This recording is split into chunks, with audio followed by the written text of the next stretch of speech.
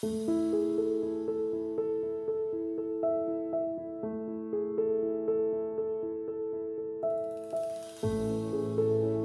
день, дорогие друзья!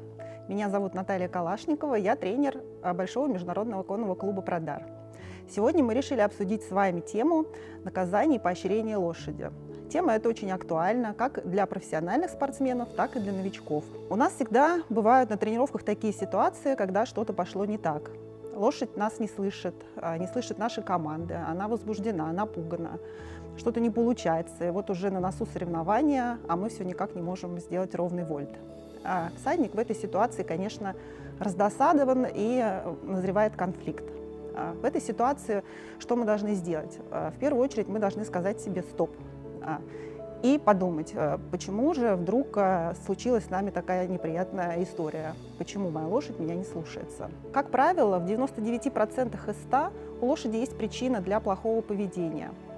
А, у профессиональных спортсменов часто это бывают завышенные требования, которые они предъявляют к своей лошади. И лошадь просто еще не готова выполнить то или иное упражнение в силу того, что она недостаточно подготовлена, мало атлетирована, или просто по какой-то причине ей тяжело, она может устать э, или просто не выспаться.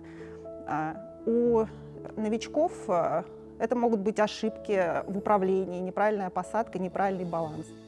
Лошадь не может нам сказать о том, что ей сегодня не очень удобно наше снаряжение, мы сидим как-то не так. Э, может быть, у нее есть какие-то проблемы со здоровьем, болит голова, она плохо себя чувствует.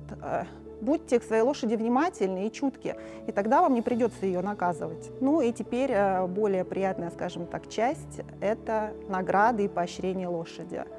Конечно, мы всегда стремимся радоваться успехам нашей лошади вместе с ней и стараемся поощрять ее за малейшие успехи, для того, чтобы закрепить э, тот или иной момент, который желателен для нас. Наш клуб – территория счастливых лошадей и счастливых людей. Мы не обращаемся со своими лошадьми жестоко, не используем строгие средства воздействия и не приветствуем это от наших гостей и от всадников. Лошадь с благодарностью запоминает наши ласковые слова, оглаживания, вовремя отданный повод, э, кусочек лакомства. И в другой раз она будет гораздо больше стараться выполнить для нас даже самое сложное упражнение. Бывает, к сожалению, и другая крайность, когда всадник э, от избытка чувств э, слишком эмоционален и очень много угощает свою лошадь или начинает вести себя с ней как э, с маленьким домашним животным, нужно не забывать о том, что все-таки лошадь это большое, крупное, пугливое животное, и оно должно быть в первую очередь безопасно для всадника, также и для человека, который работает с ней земли. Поэтому всегда будьте осторожны, соблюдайте технику безопасности и э, во всем соблюдайте золотую середину.